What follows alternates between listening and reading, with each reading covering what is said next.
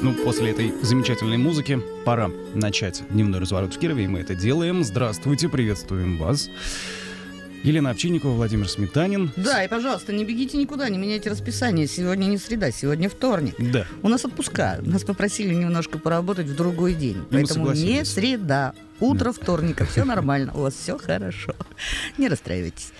Ну что начинаем, начинаем? начинаем, Начинаем? конечно, безусловно. Сегодня традиционный день для обсуждения рубрики «Выбор города» в газете «Источник новостей». Сегодня у нас в гостях главный редактор газеты «Источник новостей» это Василий Юмшанов. Здравствуйте. Здравствуйте, Добрый Василий день. Васильевич. Еще один наш Мы- гость. я, я вот лично с вами первый раз в эфире, поэтому, Я да. тоже. Наш гость, традиционный Странно было гость, вспоминать. Ян Чеботарев, юрист. Ян Евгеньевич, добрый день. Добрый. Ну и нужно А, ну, предоставить- поясняю, почему, да, Ян Евгеньевич принимает участие э, в сегодняшнем эфире, потому что он, как выяснилось, он непосредственный уже не участник, а, то есть, э, будем так говорить, он а, оказывает юридическую помощь а, одному из участников событий, о которых мы сегодня будем говорить. Да. А говорить мы будем, а, собственно говоря, опрос посвящен теме, которая волнует нас уже, вот, собственно говоря, с 21, да, с 22 Мгм. июля мы говорим о смерти Максима Маркова. Мы говорим о человеке, который, ну что ж теперь греха таить, да, убил мальчика. А, а, и а, про отца Максима, Да, про который- Александра Маркова, Мгм. да, который а, нанес три ножевых ранения человеку, который повинен в смерти его ребенка. Ну что ж, Давайте сейчас предоставим на- слово. да, на эту тему был Да. размещен опрос. Мы напоминаем, что это было сделано в источнике новостей. А, рубрика называется «Выбор города». Мгм. Вот. А, ну, Василию слово. Да, и уже. Василий Просто сейчас да. расскажет. Да, и на прошлой неделе мы спросили кировчан. Вопрос звучал так. Вершащий самосуд. Кто они? И перейдем сразу же к результатам опроса. Четвертое место, по а, мнению 15% кировчан, это народные герои. Третье место, 19% кировчан, опрошенных нами, считают, что это преступники. Второе место, 25%, то есть практически, ну, то есть четверть, сказали, что это дикари.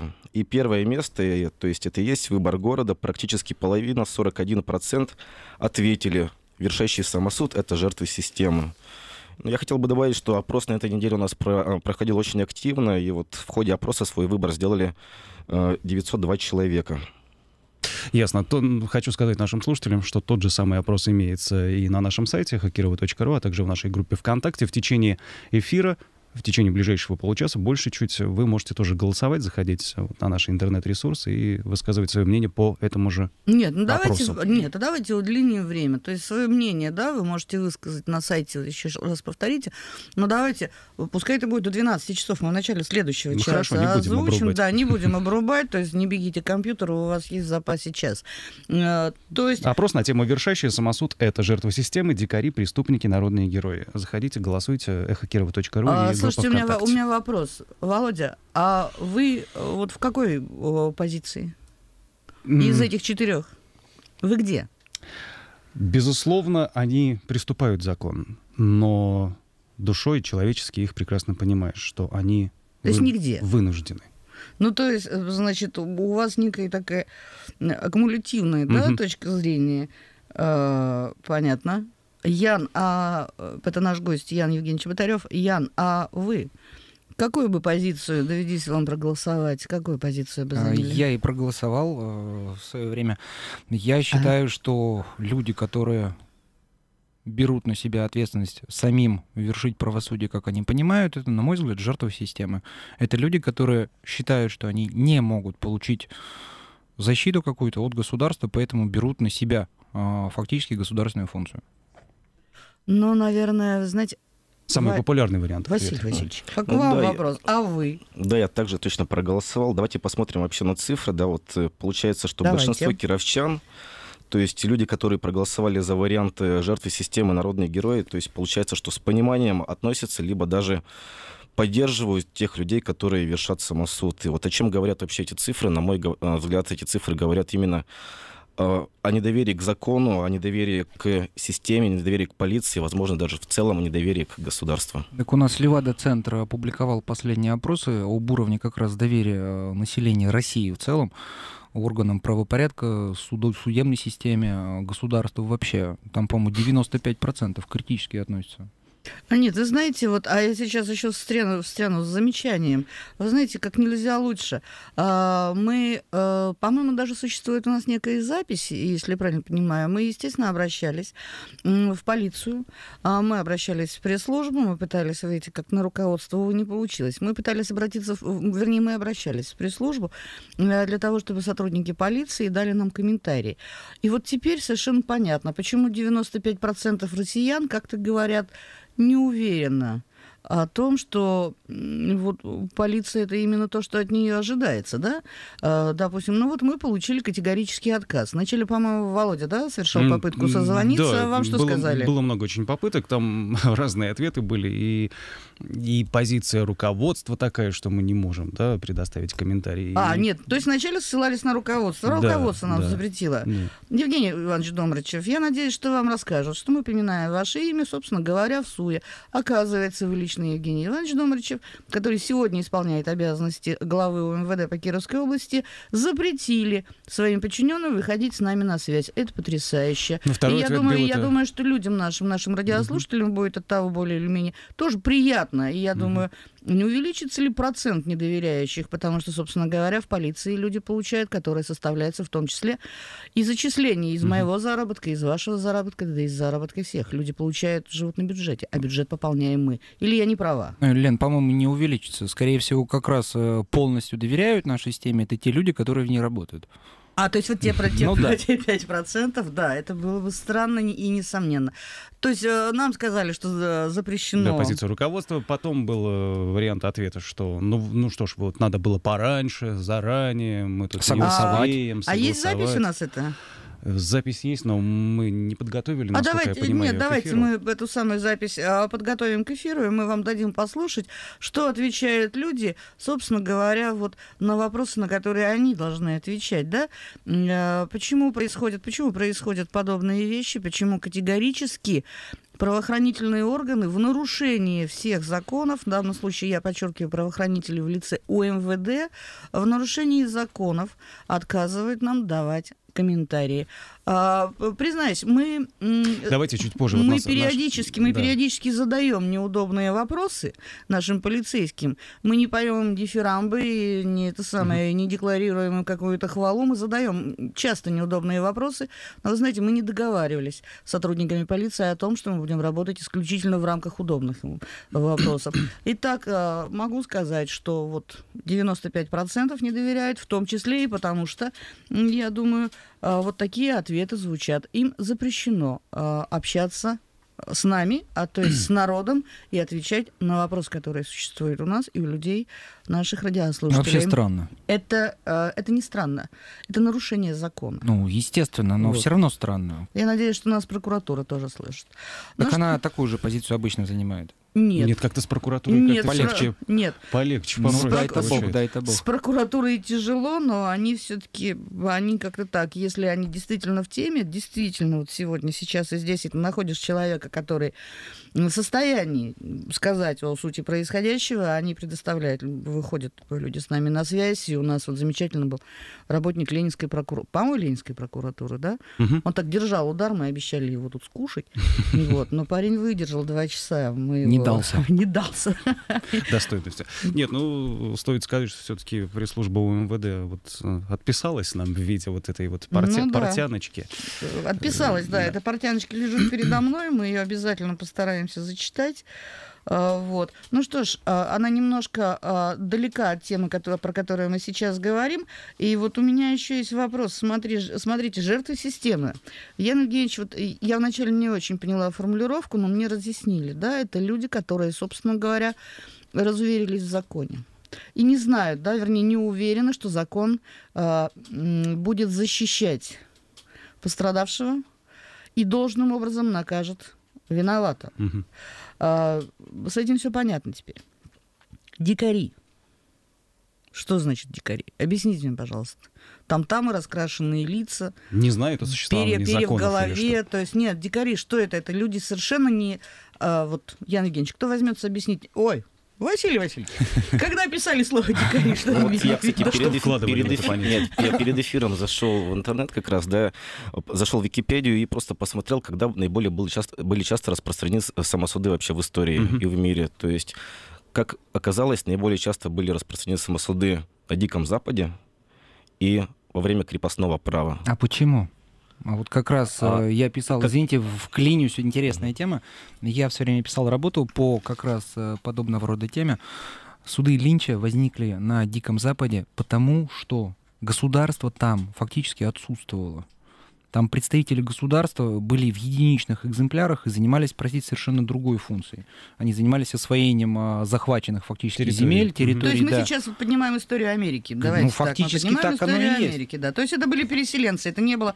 То есть института, вот государства, не было его. Так, да? Лена, то же самое у нас. У нас, когда крепостные не имели права обратиться в суд с тем, чтобы тот рассмотрел как-то Их запарывали до смерти, да. ну да, защитил их права, они защищали свои права, простите, сами вилами и топорами. Вот мы к этому сейчас и идем. Ужасно, ужасно. Ну, Конечно, есть- не хотелось бы проводить параллели, но все-таки, все-таки. Нет, ну то есть 25%, э, 25% читающих м, э, газету, источник новостей, они считают, что это люди, которые в состоянии взять вилы, э, грабли, э, камни, э, э, Лен, булыжник. ну на самом И деле... здесь- слушающих радиостанцию «Эхо Москвы» добавлю. На мой взгляд, это как раз более сложная позиция. Тоже могу сказать, что наверняка это дикий способ устраивать самосуды. Но если других вариантов нет с тем, чтобы восстановить справедливость, это дикий, но понятный способ. Вы знаете, вот все дело в том, что э, вот, по-моему, вот это э, анкетирование, оно несколько предваряет события. Почему? Ведь э, а мы говорим о самосуде, который допустил э, Александр, отец мальчика. Правильно, ведь это был самосуд. А у меня почему-то, вы знаете, что вот та толпа, которая ходила, да, э, собиралась, Собиралась, и в да, травмбольницу собиралась в травмбольнице, и позже. на месте э, вот аварии, да, мне хотелось сказать, ведь они, собственно говоря, до самосуда-то они не довели. Ну, На мой взгляд, это была попытка. Ну нет, попытка. я бы Нет. тоже, наверное, не сказал, что это самосуд. Самосуд это все-таки осознанное действие, когда человек берет на себя функцию правосудия, он фактически тогда осознанно как-то причиняет вред а, нарушителю закона. Ну, не то, что В А случае знаете, а Александра- лишает его жизни, получается. Ну да, в случае Александра более чем уверен, что это было состояние аффекта, и думаю, что в ходе следствия это подтвердится. А, А вот, а нет, теме- кстати, а вот по толпе, да, по толпе. по я бы вот толпе может, Я бы может сказала быть. словами Мгм. Высоцкого. Настоящих буйных мало, вот и нету вожаков, да? Ну, наверное. Вот, ну а если бы был кто-то, кто бы их страстно жег, действительно могло обернуться чем Лен, угодно, и сам- поэтому подобное выступление это страшно Мгм. достаточно. Самый яркий пример самосуда, но то, что мне во всяком случае в голову приходит, помните фильм «Ворошиловский стрелок»? Да. Да, конечно. Да. Вот. Вот покажите мне хотя бы одного и- и человека, вот 99% один хотя бы все человек, да. понимают э, вот этот персонаж, и ему сочувствуют, Кстати, и считают, вот что вам, это правильно, э, и, и исход-то фильма достаточно положительный. Мгм. Нет, и вы знаете, здесь, смотрите, фильм, помните, чем заканчивается? То есть милиционер, Участковый, который да. играет, участковый, Галкин. да, Галкин играет, да, Царство ему небесное. Он, а, понимаете, а, он совершенно четко дает понять, да, что ты нарушил закон, и вот и вы находите, что вот эта ситуация абсолютно перекликивалась с ситуацией Александра. Ведь я, насколько я понимаю, лично вам, ну, что ж теперь греха таить, вы оказываете юридическую помощь а, Александру а, Маркову. Ну да. А, Ко мне значит, обратились э, его родные. Сам Александр, находясь под домашним арестом, ограничен в круге общения. И как-то общаться может с внешним миром э, только давайте, я, через родных. давайте я уточню. Я посоветовала родственникам Александра Нарушение условий домашнего ареста Александр не допускал. обратиться к Яну Евгеньевичу, а, потому что сказал, что Ян Евгеньевич помогает очень многим Мгм. людям. А, Вот, а, в неоднозначных, двусмысленных, тяжелых, непростых жизненных ситуациях. Поэтому, да, это была моя рекомендация. Слава богу, что они прислушались. Ну, Вот. А Александру процессуальный защитник полагается? У него он есть. Есть. У него он есть, у Мгм. него есть адвокат, который также ходит с ним а, на все допросы, Мгм. участвует в проведении следственных действий. То есть э, защитой Александр в настоящий момент обеспечен. Так вот, Мгм. я к чему? Я вернусь к этому фильму. Вы помните, да, как Галкин изымает вот это оружие? Нет, он, э, он- что-то говорит вроде нехорошо инструмент разбрасывать, дед. Да. Ну, это да. Вот. А в этой ситуации, насколько я помню, что когда сотрудники полиции задержали Александра Маркова, э, собственно говоря, они скинулись ему на коньяки и, и выпили за здоровье сына. И, э, как говорят, что закуски. Закуска была, то есть парни сбегали в магазин. Ну, про Я имею в коньяк. виду полицейских. То есть, да, смотрите, участковая линия поведения и люди, которые видели трагедию отца, и где-то, какие бы погоны они ни носили, в какой бы форме они ни ходили, они понимали, что если этот человек, который кричал, что он депутат и он помощник и Мгм. так далее, где-то он может уйти от э, закона. И, ну, Примеров много. Я вот тоже скажу, что мне нравится фильм «Ворошиловский стрелок», но вот вам не кажется, что вот создание таких фильмов, как вот «Ворошиловский стрел- стрелок», Показывает пример какой-то. да, подталкивает, по сути, подталкивает людей на свершение э, самосуда. Нет, это не фильм подталкивает. Это система нас Это жизнь подталкивает, да. Это закон нас подталкивает, понимаете? Любой А- человек, который побывал в нашем суде, в наших правоохранительных органах, хотя бы в какой-то степени а, испытывает желание все Ну, например, а любой человек, который не побывал в суде, но посмотрел фильм «Ворошиловский стрелок». Ну, вряд ли. У него тогда поводов, извините, У нет. него тогда нет поводов. Он Вершить самосуд Он скажет, он скажет, какая-то неправдоподобная фантастика. У нас есть звонок, да? Есть звонок у нас на связи Артем Паникоровских, это ведущий программы «Точка зрения» на девятом канале. Как раз-таки они обсуждали в этой программе суд Линча, да. Артем, здравствуйте. Добрый день. А, Добрый Вы день, да. знаете, мы сегодня обсуждаем вот какую тему. В источнике новостей а, был опубликован на прошлой неделе опрос. а, Вершащий самосуд. Кто это? А, Это жертвы системы, это дикари, преступники, народные герои. Скажите, пожалуйста, я знаю, что в минувшие выходные у вас выходила в эфир программа. А, Ну, Да-да-да. тема была примерно такая же. Вы помните результаты, которые у вас были? То есть И варианты ответа, которые вы Читатели да, и предлагали. телезрители в чем-то разнятся? И какие категории у вас были людей? Был ли какой-то опрос? Можете подвести какой-то итог вашему эфиру? Ну вот смотрите, э, на вопрос, за который вы сегодня ставите, это кто? Что это за люди, которые требуют э, линчевания, да? Вообще, вот с одной стороны, просто смотрите, очень все двояко. Вы говорили сейчас о фильме «Ворошиловский стрелок», и есть опросы, э, если, вот, не знаю, видели вы в инете или нет, но, знаете, общество Занята вчера поддерживает была, этого хотела, но не добрела. дедушку, да, который отомстил, поддерживает. Что же э, происходит в Кирове? Напрямую никто не осудил э, отца э, Максима Маркова. Напрямую никто. А, более того, э, все эти э, выходы с травмбольницы, да, что происходит там? Там э, органы правопорядка, по сути, встают на сторону этих людей. Они не говорят, что кто-то нарушил э, закон э, о митингах. Они не говорят, что кто-то нарушил комендантский час. Не говорят людям, что так нельзя, извините, люди. Ну, так нельзя. Давайте суд вершить как-то в рамках, в тем рам- э, тех рамках, ко- которые есть на сегодняшний день. Ну, мы уже Я говорили, не могу что... однозначно сказать, э, как это. Чисто эмоционально я понимаю прекрасно родителей. Э, с точки зрения общества, если смотреть, и с той точки зрения, что раз мы общество и живем по общим правилам, э, то, конечно, подобные призывы к самосуду это не что иное, что ну, это приведет, очевидно, это приводит к тому, что общество начнет делиться. Мы будем первобытным обществом, которое будут линчевать, убивать, решать проблемы по-своему. А, а, Артем, вы А, реально знаю, считаете, вот, что стоит это вина допускать общества? или нет. То есть, если я сейчас скажу, что я поддерживаю э, тех, кто призывает э, к линчеванию, наверное, я тогда буду отрицать современное общество. Кто Но призывает к линчеванию? делать. Кто призывает к линчеванию? Мы не призываем к линчеванию, мы как раз наоборот. Мы пытаемся разобраться просто в Не, истоках а у вас все-таки вот да. народ а, в какой позиции был? Что вот ваши телезрители говорили? Кто ж такой Александр Марков? Ну, вы знаете, э, Ну вот я как вам сказать, приведу то есть еще мы раз. вопрос немножко по-другому ставили. А что это такое и с каким настроем люди вышли? То есть с точки зрения, опять же, общества. Хорошо, смотреть, что- да, а, вы рассматривали уже движение молодежи. закономерностях, то вот смотрите, если общество Давайте вспомним историю с Ильей Фарафоновым. Помните, там, был, там были такие же народные гонения этого Ильи. Они начинались, но они очень быстро закончились. Мы, наверное, вот сейчас уже о них забыли. Мы сейчас знаем о других. Вот Это вам кажется. Мы не забыли, Мы не, за- мы не забыли, извините. Мы не забыли. Да, не забыли, очень хорошо.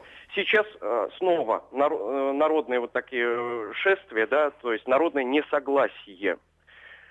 То есть одно дело, когда люди выходят, и они еще ждут какого-то правосудия и какой-то справедливости. Другое дело, когда они выходят от полного отчаяния. Если в первом случае они еще готовы ждать, то я с уверенностью могу сказать, что это не опасное общество, оно еще поддается управлению. Если оно выходит от отчаяния, это уже намного опаснее.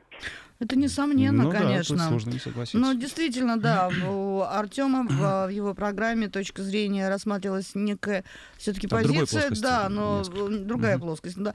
Но то, что вот нас интересовало, фактически Артем подтверждает, что, собственно говоря, громко вслух, э, ну, сказать совсем, что никто не осудил э, действия Александра Маркова, это все-таки не так. Но, может быть, не было в эфире людей, Ну, скорее все поняли. ну да, то есть мы пытаемся понять, и все-таки вот жертва системы, то, что у нас э, результат, да, жертва системы, это люди, не верящие э, в правосудие, не правосудие. верящие закон, в закон. Ну Да, да, да. официальное. Ну что ж, Артем, Артём, спасибо, спасибо, большое. Уда- спасибо, да. удачи, удачи вам в вашей работе. журналистском До свидания, фронте. да. Ведущий программы «Точка зрения» на девятом канале Артем Паникаровский был с нами на связи. 708-502. Кстати, вот эти заветные Да, цифры еще 700. не прозвучали у нас в программе. Хорошая штука, склероз. Каждый день новости. Я- 708-502. Прямой я, я эфир. часто об этом говорю. Звоните, да. да. А номер для СМС?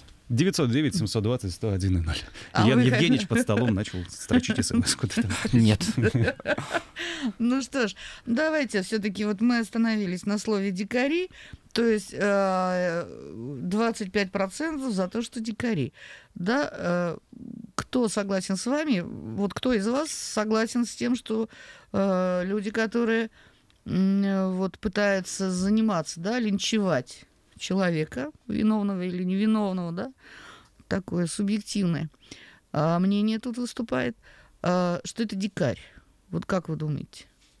Мне кажется, что это слишком. Ну, перебор некоторые Да, присутствует. пожалуй. Здесь, скорее всего, люди, просто отвечая на данный вопрос, оценивали э, не личности тех э, мстителей, скажем так, а сам по себе способ э, самосуда.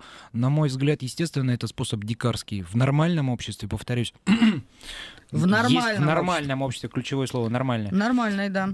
Суд А мы осуществляется говорим об обществе, собственно говоря, не, А, не сильно соответственно, здоровом. Ш- Скорее что нужно всего. сделать, чтобы быть, э, что, чтобы снизить количество самосудов, самосудов в Ну, таком у нас, случае? э, Стать нормальным реформировать, да, реформировать Васи- судебную Василий- систему, Тотальная Тотальная реформировать общество. реформа какая-то. да. Василий, А, я читаю, Это, чисто... так, это так постоянно абстрактно звучит, там, тотальная Чисто, реформа, да, там, реформа МВД, слова. там. Не, ну, кстати, вот. Всё- нет, Давайте дело в том, что, конкретики. на мой взгляд, чисто русский менталитет, вот наша лень, наша индифферентность, да, наша вот эта вот, знаете, э, смиренность, да, вечное какое-то покаяние в том, чем мы не совершали, э, понимаете, вот они именно уберегают нашу страну от э, засилия вот этих вот судов Линча. Если бы мы были горячее, допустим, мы были там испанцы, аргентинцы, мы такие, ах, или, значит, э, темнокожие... А э, как в ре- поговорке «Бог терпел, терпел и нам велел». да, те- или темнокожие такие ребята с африканского побережья. Я думаю, что при подобной системе, Ой, да, не надо, там сомалийские пираты. а Ну нет, это, другая. Сомалийские пираты это, другая, статья. Пиратство. Вот. Я думаю, что все-таки судов было много. И говорить о том, что у нас какое-то засилие линчевания, по-моему, Ну, это нет, очень. конечно. Нет. Просто на самом деле суть-то в чем? Вот каким образом трансформировался тот же суд Линча на западе Соединенных Штатов? С Давайте усилением, оставим, да? с усилением роли государства там просто народ был широко допущен к отправлению правосудия. Там суды присяжных были не по трем-четырем составам, как у нас сейчас терроризм и госизмена, а, простите, по всем. По всем, да. То есть Мгм. пришли, сели, проголосовали, уважаемые дяденьки и тетеньки. Давайте на, давайте на этой процедуре, а, значит, которая смела суды Линча, отставила и в сторону мы остановим, остановимся на, на несколько прервемся. секунд. Да, у нас сейчас Мгм. рекламная пауза. Дневной разворот сегодня посвящен народному мнению, точнее, мнению читателей газеты «Источник новостей» по поводу вопроса, вершащие самосуд — это жертвы системы, дикари, преступники или народные герои.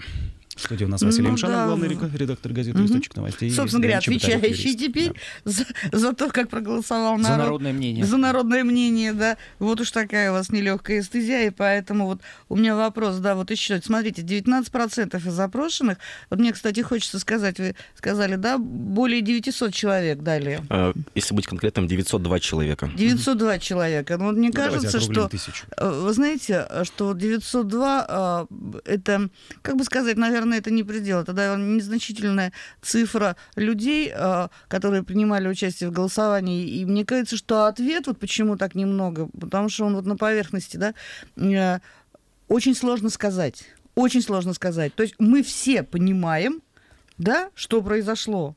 И мы понимаем, что он совершил преступление. Мы говорим про Александра Маркова, да, и в то же время, а как?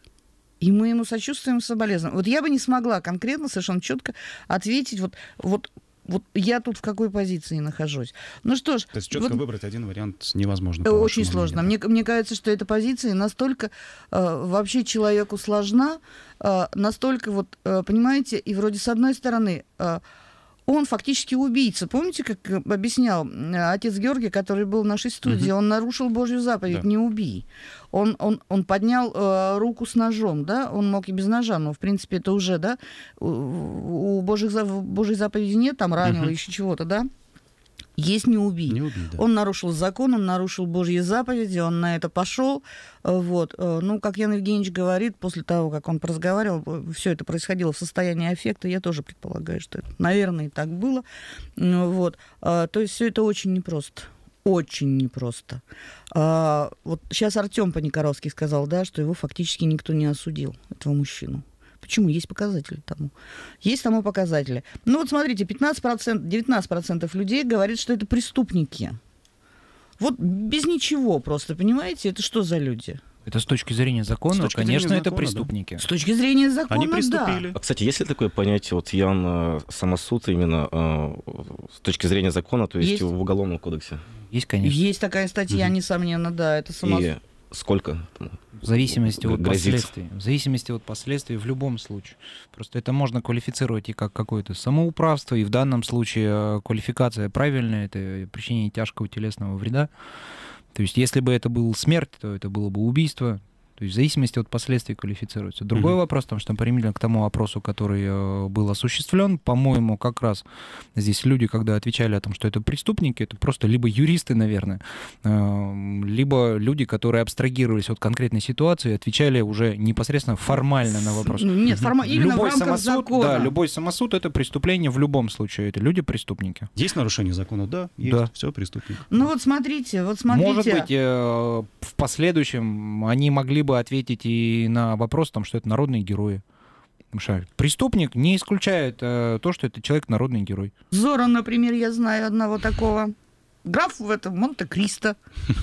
Как-то так. Ну, а если посмотреть Стинг голливудские Райзен. фильмы, там, Суперменов, Бэтменов и так далее, там... э, Просто разные же понятия. С одной точки зрения чисто юридической, приступил закон, не приступил, а с другой э, чисто эмоциональное, как народ к этому действию относится. Мгм. Вот он преступник и в то же время народный герой. Возможно, возможно. То есть преступник — это ответ э, разума. Хорошо, это ответ разума. Да. А что тогда народные герои? Это ответ души. 15, 15 процентов. Самая страшная, самая пугающая цифра. Народный герой. Это кто? Это э, вот кто давал, кто 15 процентов людей? Оцените вот э, категорию. Вот кто это может быть, кто сказал, что народный герой, человек, э, вот Это, скорее всего, люди, которые сами столкнулись с несправедливостью и не смогли ее Да. законными методами Да, победить. то есть я думаю, что это сказали прежде всего жертвы системы. Да, жертвы Жертвы уже, системы, да, то то есть есть люди те же, Получается, которые что этим- народные герои равно э, борец с системой. Скорее всего, так. То есть, слушайте, я не предполагала, вы такие умнейшие идеи э, сейчас озвучиваете, да? Нет, я, я не предполагала, что вы не можете. Я просто с вами первый раз в эфире, и, слушайте, это действительно достойная идея, да, что это люди, которые, причем, очень обидно пострадали от системы, и таких примеров у нас, извините, это жуткая цифра, ну, допустим, давайте на ней а, остановимся, да, это 15%. Вот, то есть есть тут некая взаимосвязь, да. Ну что ж, я считаю, что мы разобрались вот с этой темой. И э, в следующем часе мы еще будем говорить. Есть Мгм. некие новости, касающиеся э, событий 21-22 июля на улице Воровского. Мы перенесем в следующий э, час. А сейчас мы должны э, Василию Имшанову э, предоставить э, право э, как бы познакомить читателей и радиослушателей э, с тем... э, Следующий опрос. С да, темой следующего вопроса. Тема следующего опроса, что вы будете спрашивать. Тема следующего вопроса это электронные проездные. Ну, напомню, что они будут введены в нашем городе уже в сентябре этого года. Мгм. И мы решили спросить кировчан, введение электронных проездных это первый вариант ответа удобные новшества, Э, второй вариант очередная морока, третий способ заработать транспортникам, и четвертый я ими не буду пользоваться. Интересный я не, вариант. Я не буду ими пользоваться. А, значит, есть еще два варианта, потому что у меня есть личное авто, я вообще не езжу на общественном транспорте. Или второе, а мне плевать, что за каждый билет я буду переплачивать 3 рубля. Ну, есть другой вариант. Ну-ка. Минимальная стоимость э, карточки тоже ведь какая-то есть. Там, по-моему, 100 рублей 100 она стоит. рублей и плюс деньги, Если я проезжаю, простите, лежать. Мгм. 4, 5, 10, 20 раз на 60, например, рублей в месяц на общественном транспорте, ну, пенсионеры, бабушки, там, не инвалиды, а, либо предпенсионного возраста люди, зачем им 100 рублей выкидывать, которые они банально не изъездят? Мгм. Ну, так-то да. Меня там э, вот что еще беспокоит. В часы пик, в утренние, Ну-ка, беспокойтесь. Пассажир автобуса, вот буквально сегодня с утра прочитал, пассажир автобуса должен подойти к кондуктору, то есть под, через этот весь салон полностью битком забитый, как-то припереться Ой. к нему. Ой, Нет, нет, нет, Дай я, нет, мы когда обсуждали это в самом начале, я представила кондуктора, габаритную тетеньку, А, ну, и, значит, и висящего на поручнях, Вот. отбивающего руками И чеки. меня, и меня, значит, тоже габаритную тетеньку, значит, и мы пытаемся, значит, из пункта А, значит, в пункт Б, мы, значит, пытаемся друг к другу добраться, вот, в это время, значит, беременный автобус, едва переваливающийся там на наших ухабах, да, вот, то есть картина достаточно занятная. Занятная картина. Мы говорили о том, что в Москве, допустим, да, там стоят вот эти вот все счетчики, то есть, Валидаторы. да, б- без проблем. Но там такое количество транспорта, что фактически на остановках народ не копится. А у нас возьмите, да, особенно по утрам, вот этот вот 46-й, нововятский маршрут. 73-й. Это же, это же привет, да? И вот я все время думаю, как вот в этой жаркой, вот в толчее, все мы мокрые, злющие, а это утро, да? И вот две такие, значит, вот такие большие крупные тетеньки, мы друг к другу ползем. Одна для того, чтобы меня обилетить, другая, чтобы, значит, за билет заплатить. Да там, скорее всего, так же будет, как сейчас. Передавайте Нет. карточки. Да нет, толстые нет. Тол- Толстые люди, они добрые. Она так на меня, наверное, глянула и сказала, ай да, езжай уже. Вот, Кстати, так. сегодня, насколько я знаю, журналистов кировских пригласили протестировать на 23-м автобусе эту систему. То есть к вечеру уже появятся новости, журналисты расскажут о том, как это все прошло. Некорректный тест. Э, Надо это в час пик делать. на Надо в час деле. пик и битком на, на битком набитом автобусе, да, а то протестировать, извините, как бы, да, э, не, сов- не совсем хорошо, ну что, А в советское время что, у нас компостеры были, да, как они Да. назывались? были компостеры. На да. самосознание входил Они- человек в салон, Ой, шел к компостеру и пробивал, и периодически заходили Я вам иногда в перерыве расскажу потрясающий смешной анекдот про компостер. И но он- сравнивали. Но он не эфирный, но это очень смешно. Доктора любят рассказывать эти анекдоты. Вот. Были компостеры, чего только не было. А во времена моего детства мы покупали билетики, мы опускали там 4 копеечки. Ой, я помню, да, и кассу крутили, Да, и крутили выползал, такую ручку, отрывали. А, вот, э, все это с таким скрежетом, отрывали бумажку, и потом весь автобус или троллейбус мы сидели и так считали, а потом кое-кто съедал. Но это если счастливый счастливый. Да, я говорю, кое-кто не все же, за выражение, жрали билеты эти. Причем съедать-то нужно было уже, когда выйдешь из салона, потому что иначе кондуктор придет, контролер. Точно, съел, а тут контролер. А ты его дожевываешь, сидишь. Собственно, уже все. Ну что ж, я думаю, вообще, вот мы хотя и смеемся, в принципе, тема-то, вы знаете, с проездными она достаточно жесткая. А, Почему? Потому что, а, ну вот насколько я знаю, и, по-моему, и Ян Евгеньевич в теме, там, по-моему, что-то происходило без конкурсов, там какие-то банки. А, Вот. А, То есть а, кому, не, кому на пользу, сложно сказать, но, по-моему, народу это точно не на пользу. У нас, помните, был в эфире, когда мы только обсуждали тему, был какой-то очень энергичный пенсионер, судя по голосу, Мгм. да, вот, и он представителем, а, значит, вот а, перевозчиков, он задал, нет, администрации, он задал вопрос, он сказал, сколько билеты это будут стоить? Поди 15? И чиновник так замялся, замялся, он говорит, где-то так ехидно, говорит, что еще больше? Народу-то как раз, по-моему, все равно. Они как платили деньги, так и будут платить. Бесплатно никого возить не будут. За исключением э, слепых, по-моему, еще кого-то. Знаете, очень-очень сомневаюсь, что перевозчики вот добьются одной из своих главных целей, это узнать точный пассажиропоток. Ну, действительно, просто без этого же не жить. Мгм. Это, конечно, интересно, но полюбопытствовали сегодня, а завтра-то, ну, отмените по своей электронной ПУ. Все уже, мы знаем сколько. Ну что ж, Да, Василий? а, да. Кстати, я напомню, что вот проголосовать можно, то есть мы опросы проводим по пятницам у входа в супермаркеты «Глобус», да, а также проголосовать можно, отправив смс на номер телефона, который ука- указан в нашей газете, а также на нашем сайте один источник, первоисточник.ру. Мгм. Ясно. Слушайте, повторите еще раз. У меня, у меня плохая память на фамилии и на цифры. Где еще можно? У входа в супермаркеты «Глобус» в пятницу в, в обеденное время, потом отправив смс на номер телефона, который указан в нашей газете, и на сайте одинисточник.ру. Ясно. Ну что ж, Отлично. я надеюсь, что многие запомнили и голосуем. Э, Тема очень забавная и стоит задуматься и порассуждать, что же это такое. Ну что ж, теперь мы уходим на перерыв. Да, Он Василий будет не Юмшанов, особенно... главный редактор газеты «Источник новостей». Спасибо, Василий, что Спасибо Спасибо, вам. спасибо и до свидания.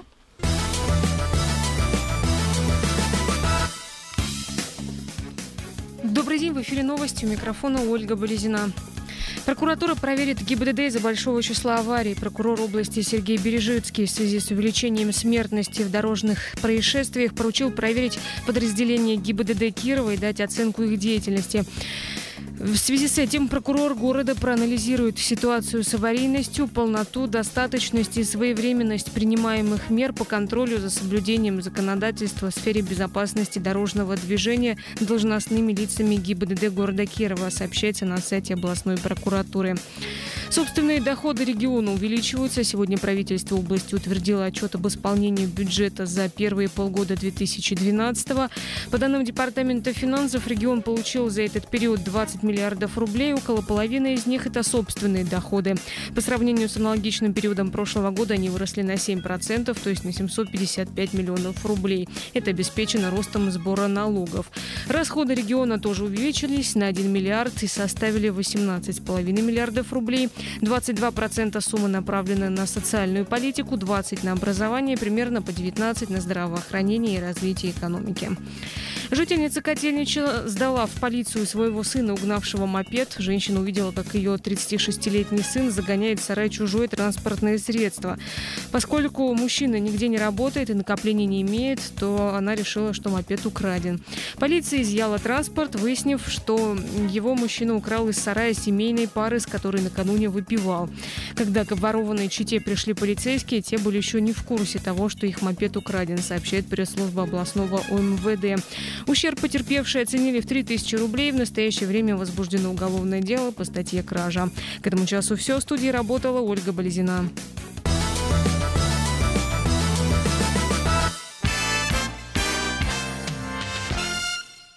Ну что ж, забавные новости, да, особенно... Всегда бы так работали. Да, особенно в связи с... Да, всегда бы старушки так реагировали. 36-летний Здесь- Полиция здесь- так работала. Здесь дело, дело не женщины. в полиции, а дело в старушке, понимаете, которая своего сына захомутала, быстренько сообразив, что тот украл. Правопорядок в России держится на А старушке. Ну, семейство-то даже не успело заметить. Оно просто не протрезвело к тому времени, а оно просто активнее принимало, а тот, видимо, выпивал и оглядывался. Что здесь можно уже прибарахлить? Выбор пал на мопед, зачем вечно пьяному Ну, человеку а мопед, видимо, сказать какой-то, если 3000 сложно. рублей. Слушайте, а ГАИ у нас, вот первая новость, она что будет проверять? И как Прокуратура. расслед- ну, прокуратура. Прокуратура как с ГАИ. ГИБДД Может, расследует Что э, будут ДТП? проверять? Как Вот оно это- предотвращает э, ДТП? Что предотвращает? Как предотвращает? Ну, Караулит подобных- выставляет э, Куда? полиц- Чего делает? Вот Картонных. процедура. ГИБДДшников э, везде. Слушайте, думаю, как, Ну, как сложно водитель представить, как это можно Лен, предотвратить как на самом деле. водителю сказать о том, что, на мой взгляд, ДТП возникают там, где движение не организовано, где не работают светофоры, где отсутствует разметка, где не отремонтированные дороги, люди начинают метаться по дорогам, как-то э, разворачиваться, еще что-то. То есть я это тоже не важно. автолюбитель, но я с этим не согласна. А есть еще Понимаете, версия, что есть- это возникает на хороших дорогах, где позволяют себе гонять на 170, Где позволяют гонять, 180. да. Нет, ну, это тоже самое. вариант. А согласен. Вообще для меня, вы знаете, событие, вот о какой дисциплине, о, о чем можно сейчас говорить, смотрите, вспомните Чехарду, Усцов, Бахтин, э, сколько без головы наша ГИБДД находится, да правильно, что все в разрухе. Давно да, Да, да, да. Ну что ж, давайте у нас... э, Мы обсудили, время обсуждения новостей закончилось. Мы сейчас уйдем на перерыв, слегка отдохнем, потом вернемся с новыми силами Не и продолжим интересные темы.